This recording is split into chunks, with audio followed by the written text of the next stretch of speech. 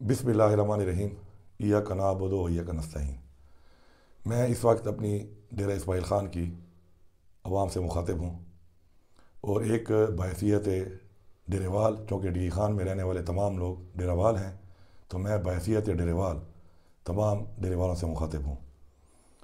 आप सबको मालूम है कि जिस तरीके से एक अमरीकी साजिश के तहत इमरान ख़ान साहब की हुकूमत को गिराया गया साजिश के तहत और उसके बाद जिस तरीके से फसाइत करके गैर कानूनी तौर पर हम सब पर पूरी लीडरशिप पे, तमाम वर्कर्स पे, पूरी पार्टी पे एफ़ आई आरें काटी गई और एक जुल्म की लंबी दास्तान शुरू की गई, जो अब तक शुरू है। मैं यहाँ पे आप सबको, अपनी तमाम बहनों को, अपनी माओं को, अपनी बेटियों को, तमाम बच्चों को, तमाम बुज़ुर्गों को, भाइयों को और नौजवानों को मुखातिब हूँ कि आप ये सब देख रहे हैं कि इस पाकिस्तान में क्या हो रहा है। वो पाकिस्तान जिसको हासिल करने के लिए हमारे बावजदाद ने अपनी जानी और माली कुर्बानियाँ दी कि हम एक आज़ाद रियासत, इस्लामिया जमहूरिया पाकिस्तान होंगे। आज वो कहाँ खड़ा है? आज उसमें इस्लाम कहाँ है? इंसाफ कहाँ है? आज उसके अंदर कानून कहाँ है? वो फलाई रियासत जिसका ख्वाब देखा था, अलामा इकबाल ने, वो कहाँ है? कानून की बालादस्ती कहाँ है? तो मैं आपको बताना चाहता हूँ कि मेरे ऊपर इस रिजीम चेंज के बाद छप्पन एफ़ आई आरें काटी गई। उन एफ़ आई आरों में बारह एफ़ आई आरें ऐसी थी कि जो अदालत ने, अदलिया ने उनको क्वैश कर दिया। क्वैश मतलब ख़त्म कर दिया कि ये जेली हैं मतलब बाकी भी जेली थी। फिर नौ मई हुआ। नौ मई में किसका क्या किरदार था, वो भी कौम के सामने इंशाल्लाह एक दिन आ जाएगा। और ये नौ मई किसने किया था, ये भी इंशाल्लाह कौम के सामने आ जाएगा। मैं सात तारीख को जेल से छूट कर डी खान पहुँचा और मैं नौ मई को डी खान में था, जबकि मेरे ऊपर कोर कमांडर हाउस लाहौर में पर्चा काटा गया कि मैं वहाँ पे था। मेरे ऊपर पिशावर में पर्चे काटे गए कि मैं वहाँ पे था। मेरे ऊपर गुजरावाला में पर्चे काटे गए कि मैं वहाँ पे था। मेरे ऊपर फैसलाबाद में पर्चे काटे गए कि मैं वहाँ पे था। मेरे ऊपर इस्लामाबाद में पर्चे काटे गए कि मैं वहाँ पे थाने चला रहा था। मेरे ऊपर मियावाली में पर्चे काटे गए कि मियावाली एयरबेस में मैं वहाँ पे मैं मौजूद था। तो एक इंसान इतनी जगहों पर, एक टाइम में कैसे मौजूद हो सकता है? जबकि पूरा डी खान गवाह है कि मैं अपने घर में मौजूद था। ये सब वो चीज़ें हैं जो आपको बताना ज़रूरी है, ताकि आपको अंदाज़ा हो कि इस मुल्क में हमारे साथ क्या हो रहा है। एक हकीकी आज़ादी जो हम मांग रहे हैं, वो हम क्यों मांग रहे हैं? और हमें इस आज़ादी की ज़रूरत क्यों है? क्यों ज़रूरी है आज़ादी? मेरे ऊपर पहले एफ़ आई काट कर, जिस तरीके से मुझे पाकिस्तान के पाँच ज़िलों में घुमाया गया, तीन सूबों में घुमाया गया, उन जगहों पर सिंध में, जहाँ पर मैं आज तक ज़िंदगी में गया तक नहीं, वहाँ पर मेरे पे एफ़ काटी गई। क्यों? क्या बुनियाद थी उनकी? उनकी बुनियाद सिर्फ़ एक थी कि मैं इमरान खान को छोड़ दूँ। उसकी बुनियाद सिर्फ़ एक थी कि मैं उस रास्ते से हट जाऊँ, उस नज़रिए से हट जाऊँ, जिसके साथ मैं खड़ा हूँ। और ज़बरदस्ती हटाने के लिए इस तरह के इकदाम किए जा रहे हैं। मैं बासीत एक मुसलमान, पहले भी बता चुका हूँ और दोबारा बता रहा हूँ कि मेरा ये ईमान है कि मैं हक के साथ खड़ा हूँ। और इसलिए मैं हक के साथ खड़ा रहूँगा। और कोई भी ताकत इस तरीके से मुझे हक से नहीं हटा सकती। मेरी ताकत आप लोग हैं। अगर आज मैं किसी गलत रास्ते पे जाऊँगा, मैं आपका नुमाइंदा हूँ। तो ये नाम डी खान का उठाया जाएगा, मेरा नहीं उठाया जाएगा। अगर मैं आपके लिए गैरत करूँगा और ये गैरतमंद के तौर पर कि तौर पे मुझे जाना और बुलाया और पुकारा जाएगा तो उससे ये इज़्ज़त डी खान की इज़्ज़त होगी। और अगर मैं कोई ऐसी हरकत करूँगा जिससे मैं बेगैरती करूँ, पीछे हटूँ, किसी वजह से मुश्किल वक्त में उस नज़रिए को, जो नज़रिया पाकिस्तान का नज़रिया है उस मकसद को, उस जंग को जो इमरान खान हमारे कौम के बच्चों के लिए, हमारी कौम के लिए लड़ रहा है, पीछे हट जाऊँ तो वो बदनामी भी आपकी बदनामी होगी। इंसान और हमारा ईमान क्या है कि ये फ़ानी दुनिया है? ये फ़ानी दुनिया है, असल दुनिया वो है जिस पे हमने अल्लाह को जवाब देना है। अब मैं ज़रा डी खान के हालात पे आता हूँ। जब से हमारी हुकूमत गई है, आप देखें पाकिस्तान के हालात। पेट्रोल कहाँ पे था? एक सौ पैंतालीस रुपये कहाँ पे ले गए? डॉलर वन सेवेंटी थ्री पे था। कहाँ पे चला गया? मुल्क में इतना रोज़गार था क्योंकि सनतें चल चुकी थी। इतना रोज़गार था कि इतने यूनिट लग गए थे कि लोगों को टेक्निकल लेबर नहीं मिल रही थी फैसलाबाद में। आज मुल्क में रोज़गार नहीं है। आज मुल्क में बिल्कुल कारोबार नहीं है।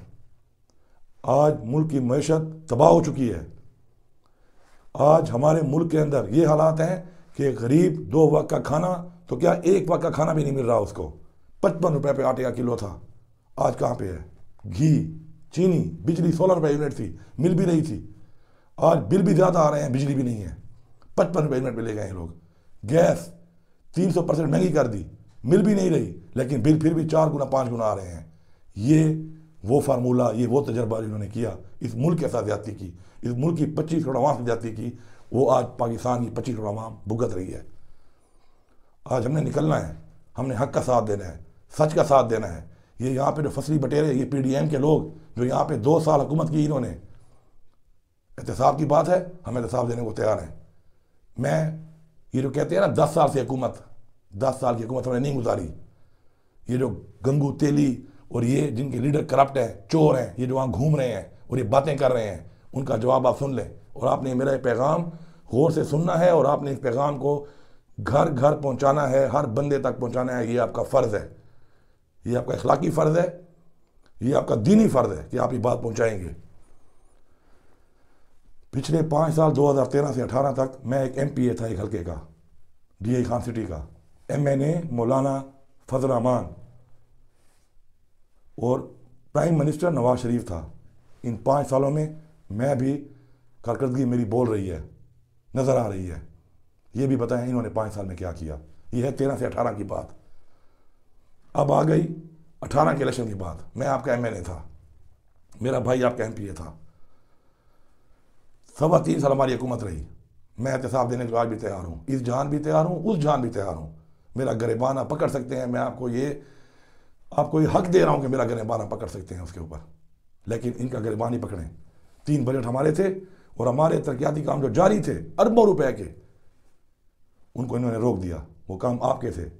मेरी ज़ात के नहीं थे। उनके फंड रोक दिए रिलीज़ रोक दी टेंडर हुए हुए कामों को रोक दिया। वो जब खुद आए तो दो बजट में मुझे फैसल कुंडी बताए कि उसने क्या दिया डी खान को। उसका भाई बताए कि उसने अपने हल्के में एम पी रह के क्या दिया। एक ईंट नहीं लगाई। सारा पैसा खा गया आपका। मौलाना बताए कि तुम्हारा बेटा फेडरल मिनिस्टर था। तुम्हारी पी पीडीएम की हुकूमत थी। तुमने एक ईंट नहीं लगाई। बल्कि मेरे जो तरक्याती काम शुरू थे, सिर्फ़ कमीशन लेने के लिए। नबे करोड़ कामों को जो आधे हो चुके थे रुकवा कर दोबारा टेंडर करके, पौने तीन अरब रुपए के टेंडर करके कमीशन ले लिया और काम अभी तक हो भी नहीं रहे। इसका जवाब आपने मांगना है। ये है कारकर्दगी जो पिछली मैंने बताई आपको, और इससे पहले जो चालीस साल हुकूमत रही इनकी। उसका हिसाब भी इनसे मांगना है। उसमें क्या किया? उसमें भी कुछ नहीं किया इन्होंने। कोई हकूक नहीं दिया आपको। रोज़गार की बात है। दावे से कहता हूँ कि डायरेक्ट जो क्लास फोर और इस तरह की नौकरियाँ हैं और इनडायरेक्ट जो थ्रू एन टी एस हुई हैं। डी खान में तीस हज़ार नौकरियाँ अल्हम्दुलिल्लाह हम लेके आए हैं और लोगों को मेरिट पे मिली हैं। और मैं बता रहा हूँ, हर उस बंदे का ये फ़र्ज़ बनता है कि उसने हक अदा करना है कि उसको जो हक मिला है मेरिट पे मिला है, इमरान खान की वजह से मिला है, तरीके इंसाफ की वजह से मिला है, हमारी वजह से मिला है। वो रिस्क उसके घर में जा रहा है वो इज़्ज़त जो उसको मिली हुई है, उसकी वजह इमरान खान और तरीके इंसाफ का मेरिट सिस्टम है। आप सबने कैंपेन करनी है, हक अदा करना है। वरना उस जहान आप भी जवाब दें आपने भी जवाब देना है। अब मैं आता हूँ ज़ाती हैसियत में। सियासतदान और एक नुमाइंदा, उसकी दो हैसियत होती है। एक हैसियत होती है उसकी कि आपके लिए वो फंड लेके आए, आपके लिए वो जंग लड़े, आपके मसायल के हल के लिए वो स्कीम्स लाए। अल्हम्दुलिल्लाह, सत्तर साल में डी खान में इतना काम नहीं हुआ जितना हम लोगों ने किया, माशाल्लाह। अभी भी हमारे अरबों रुपए के कामों के टेंडर जो रोके हुए हैं, उन्होंने होना है। ई डी पी स्कीम्स हैं वर्क ऑर्डर है टेंडर हो चुके हैं। उन्होंने होना ही होना है, हुकूमत जिम्मेदार है करने की उनको, जो हुकूमत भी हो। और साथ में इनकी कारकर्दगी, वो क्या है? ज़ाती हैसियत में, करोना आया डी खान में, पूरे पाकिस्तान में 25 करोड़ आवाम उससे मुतासर हुई थी। हमने किस तरीके से कोरोना को संभाला? इमरान खान की हुकूमत को दुनिया ने एक्नॉलेज किया। उन मुल्कों ने, अमेरिका जैसे मुल्कों ने एक्नॉलेज किया। कि जिस तरह इमरान खान ने कोरोना को कंट्रोल किया, पाकिस्तान ने कंट्रोल किया, कोई नहीं कर सका। ये कोई आम और कम बात नहीं है। पच्चीस करोड़ आवाम को हमने संभाला। अपनी ज़ाती हैसियत में, मेरे घर के दरवाजे पे। जितने लोग आए मैं चैलेंज करता हूँ कि आज तक कोई खाली हाथ नहीं गया। मैंने आपको अपने घरों में चीज़ें पहुँचाई। अपनी टीमों के थ्रू आपके घरों में चीज़ें पहुँचाई। मैंने आपके मोबाइल नंबरों के ऊपर अपने ज़ाती दोस्तों के साथ चैरिटी करके आपको पैसे पहुँचाए। आज मैं उन लोगों से कहता हूँ आप पे फ़र्ज़ बनता है कि आप लोगों को बताना है कि किस तरीके से बगैर बताए पैसे आपके अकाउंट में आए थे। और लोगों को बताना है आपने। ये फ़र्ज़ है। अगर मैं अपना गरेबान पेश कर रहा हूँ कि आप पकड़ सकते हैं तो कल आपका गरेबान भी, अब चूँकि मेरा लीडर जेल में है, ये वोट मैं इकतदार के लिए नहीं मांग रहा, मैं कुर्सी के लिए नहीं मांग रहा, मैं अपने लीडर की आज़ादी के लिए मांग रहा हूँ। ये वोट मैं पाकिस्तान की आज़ादी के लिए मांग रहा हूँ। मैं भी आपके गरेबान पे हाथ डालूँगा फिर। और पूछूँगा और आप जवाब दे होंगे उलझान ये मेरा मैसेज है आपको। ये रिक्वेस्ट है और मैसेज है कि आपको हक अदा करना है। उसके बाद सैलाब आया। सैलाब में किसकी हुकूमत थी? वाकई हुकूमत इन लोगों की थी, इन डाकों की। हमारी सूबाई हुकूमत थी। इमरान खान ने चैरिटी की। चैरिटी करके इमरान खान ने साढ़े पाँच अरब रुपया के पी के हुकूमत को दिया। उसमें एक करोड़ मैंने भी दिया। क्यों दिया? क्योंकि मैं आपका गैरतमंद भाई हूँ। मैंने इसलिए दिया कि ये ना कहा जाए कि अपने हल्के के सैलाब के लिए खुद तो कुछ नहीं दे रहा और और लोगों के चंदे पे अपने लोगों को ही पैसा देगा। मैंने अपना उसमें हिस्सा डाला। कितने लोगों को पेमेंट हुई जब तक हमारी हुकूमत थी सूबे में? वो पैसा भी इमरान खान का चैरिटी का पैसा था। जैसे हुकूमत ख़त्म हुई सूबे की विफाक से कुछ मिला ही नहीं आप लोगों को। और जो सूबे की हुकूमत से जो पैसा मिल रहा था, जो चैरिटी का पैसा था हमारा, वो भी जालमों ने रोक दिया। हेल्थ कार्ड दस लाख रुपए हर बंदे को दिए। कितने लोगों ने इलाज कराया उससे? हर बंदे पे आप फ़र्ज़ से मुफ़्त इलाज कराया उस हेल्थ कार्ड से कि वो घूमेगा, वोट मांगेगा। वो ये बात बताएगा एक एक बंदे को बताएगा, उस पर फ़र्ज़ है। इखलाकी भी और दीनी भी कि वो बताएगा कि हाँ मैंने इलाज कराया। इन्होंने आके वो हेल्थ कार्ड बंद कर दिया। ये खैर ख्वाह हैं आपके? ये मुल्क के खैर ख्वाह हैं? वो फ्लैट इस पर नवाज़ शरीफ अभी भी रह रहा है, आप खुद देख रहे हैं, उसके केस में वो क्लियर है। इमरान खान जेल में है। मेरे ऊपर ऐसा केस बना दिए। कुछ नहीं मिला। कुछ नहीं मिला अलहमदिल्ला इनको। उल्टा 2010 से लेकर 2023 तक रिकॉर्ड पड़ा है, डिप्टी कमिश्नर के दफ्तर में पड़ा है। जब मांगा तो उसने भेजा कि अली अमीन की फैमिली ने पाँच हज़ार कनाल ज़मीन अपनी मारूसी बेची हुई है बाप दादे की। ये मेरे पे निकाल सके ये लोग। मैं शुक्र अदा करता हूँ कि इन्होंने किया। शुक्र है कौम के सामने आ गई ये बात। लोगों के सामने ये बात आ गई रिकॉर्ड पे, वरना आप चले जाएँ। डिप्टी कमिश्नर ऑफ़िस से वो रिकॉर्ड निकलवा लें। डिप्टी कमिश्नर साहब, आप वो रिकॉर्ड दे दें। जिस तरीके से आपने मेरी पूरी फैमिली के ऊपर मेरी बेटियों छोटी छोटी बेटियों पे, मेरे बेटे पे, मेरी बहनों पे, मेरे भाइयों पे, मेरे वालिद पे, मेरी मरहूम वालदा पे आपने इंक्वायरियाँ की, उसका रिज़ल्ट क्या निकला? कौन को बताओ? डिप्टी कमिश्नर साहब ओथ पे कुरान पे हाथ रख के बताओ कि ये निकला कि पाँच हज़ार कनाल मारूसी जायदाद दादे पर दादे की कम हुई है। ये भी तो बताओ ना आप। और जो मेरे पे घर निकाला है कुछ तो बिल्कुल कौन को बताएँ आप? आखिरी बात,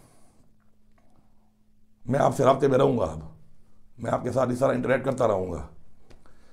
निशान हमारा छीन लिया गया। वर्कर हमारे जेलों में लीडरशिप हमारी जेलों में काजात हमारे मुस्तरद ये इलेक्शन हो रहा है। ये सिलेक्शन नहीं है। ये सिलेक्शन से भी बदतर चीज़ है। हमारे पे वो लोगों को, ये उन लोगों को हमारे ऊपर ये डालना चाहते हैं, मुसलत करना चाहते हैं, जिन्होंने पाकिस्तान का ये हाल किया है। उसके खिलाफ हम दीवार बन के खड़े हैं। काजात मुसरत कर दिए। शुक्र अदलिया ने वो एक्सेप्ट कर लिए। निशानात दे दिए। देने के बाद चौबीस घंटे बाद चेंज कर लिए।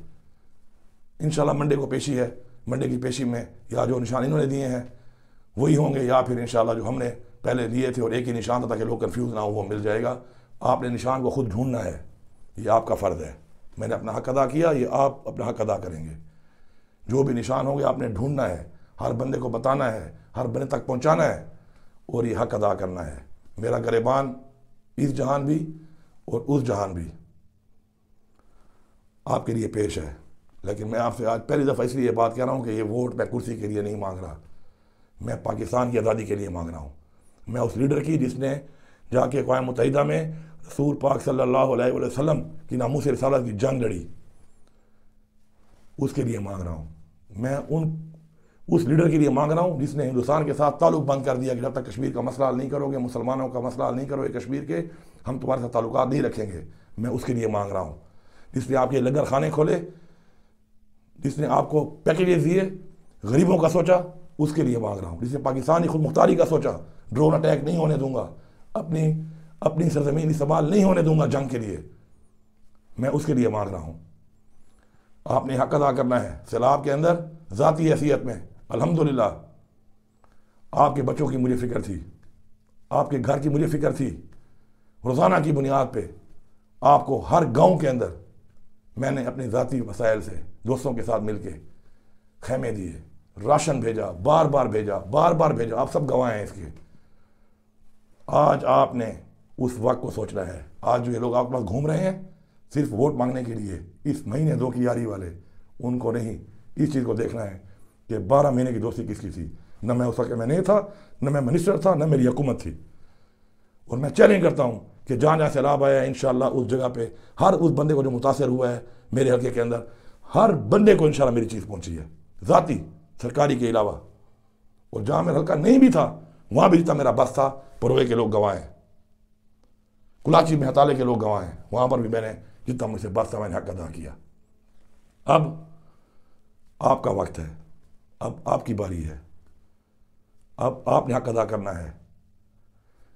आपने अपने घर से निकलना है इस मैसेज को सुनने के बाद और ये मैसेज हर बंदे तक पहुंचाना है और अपने साथ चाहे आप इस्तारा करते हैं, चाहे ये पूरी बात मुकम्मल सुनने के बाद आप बैठ के सोचते हैं इसके ऊपर तो जो फैसला आपको सही लगता है, जो फैसला आपको हक का लगता है, सच का लगता है, जो फैसला आपको अपने ज़मीर का लगता है जो फैसला आपको इस जहान और उस जहान सुरखरू होने का लगता है, वही फैसला करें।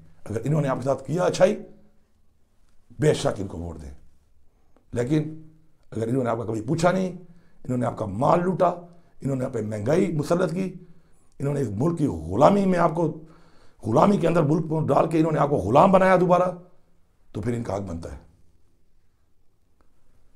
मुझे पूरा यकीन है इन कि ये जंग न इमरान खान की है न ये जंग अली अमीन की है।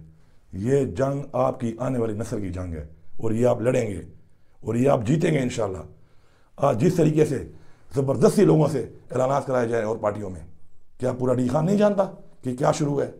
रातों को चले जाते हैं, डालों में जाकर पुलिस जाके अगलों के घरों में छापे लगा रही है, लोगों को धमका रही है, तुम उसकी चाय का प्रोग्राम करो, तुम उसका प्रोग्राम करो, तुम उसका प्रोग्राम करो। मैं किसी के बारे में कुछ नहीं कहता, किसी की मजबूरी होगी, मजबूरी से गया होगा। किसी की मजबूरी नहीं भी होगी, मजबूरी का भाना बना के गया होगा। लेकिन ये जुल्म यहाँ पे हो रहा है। आज आप आज़ाद नहीं हैं अपने वोट के लिए भी, आप सब ये जानते हैं। जिनके साथ ये हुआ, उनके साथ वाले सब लोग जानते हैं कि ये क्या हुआ है। आज आपने आज़ाद होना है। आपने जुल्म का बदला वोट से लेना है। आपको कुरान में हुक्म है, अल्लाह ताला का हुक्म है कि जुल्म के ख़िलाफ़ हाथ उठाओ। हाथ नहीं उठा सकते, ज़बान से बात करो। ज़बान से नहीं कर सकते दिल में बुरा कहो। वोट एक ऐसी चीज़ है। कोई नहीं होगा आपके दरमियान, सिर्फ़ अल्लाह होगा और आपका ज़मीर होगा और हक और सच होगा। आपने फैसला हक और सच का करना है, ज़मीर का करना है।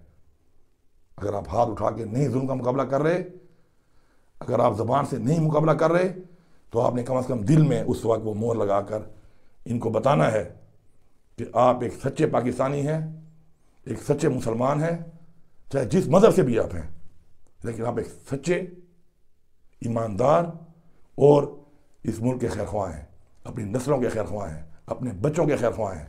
इन आपसे बात होती रहेगी इन और मैं आपको इन मज़ीद और बातों में और अगली स्पीचेज में थोड़ा इनका जो खुलासा है, जो इधर बक बग करते फिर रहे हैं कुछ लोग, इनके ऊपर मैं और बातें भी करूँगा।